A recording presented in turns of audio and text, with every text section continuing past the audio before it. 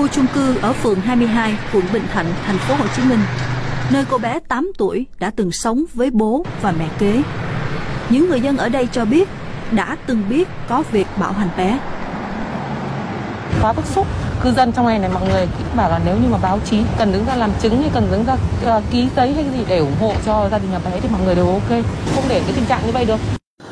Phải làm cho ra lẽ, đó cũng là mong mỏi lớn nhất lúc này của luật sư Trần Thị Ngọc Nữ, người đang đồng hành cùng gia đình cô bé 8 tuổi tìm lại công bằng cho em. Theo bà Nữ, em đã bị bạo hành từ lâu. Trên người em có nhiều vết thương, chồng chất, cả mới, lẫn cũ.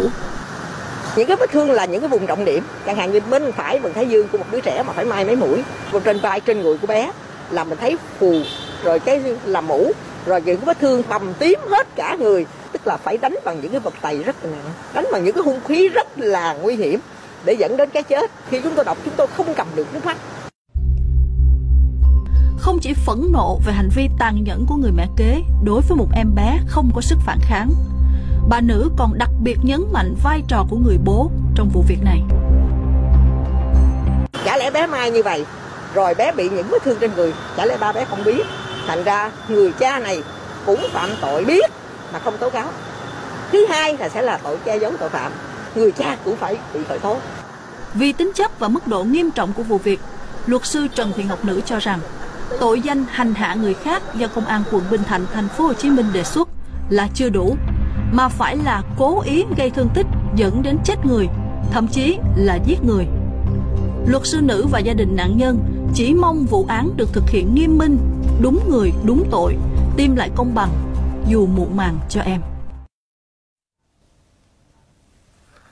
Những vụ việc bạo hành trẻ dẫn đến tử vong không chỉ có một, mà ngay trong tháng trước cũng có một bé đã bị chính người thân trong gia đình bạo hành dẫn tới tử vong. Đó là một bé gái mới chỉ 3 tuổi ở huyện An Minh của tỉnh Kiên Giang. Đây là người cha dượng bạo hành bé gái mới 3 tuổi dẫn tới tử vong. Trần Văn Khởi, sinh năm 1995, thường xuyên bạo hành con riêng của vợ như thế này. Châm điếu thuốc đang cháy vào miệng em nhỏ. Dùng kim nhổ răng của bé, dốc đầu em bé mà đánh. Lý do chỉ bởi bé hay tè dầm. Em ném nó xuống đất rồi em quýnh nó luôn. Em đấm với gô ngực qua đây một cái. Gô vai một cái, gô lưng hai cái. Nó gớt xuống đất.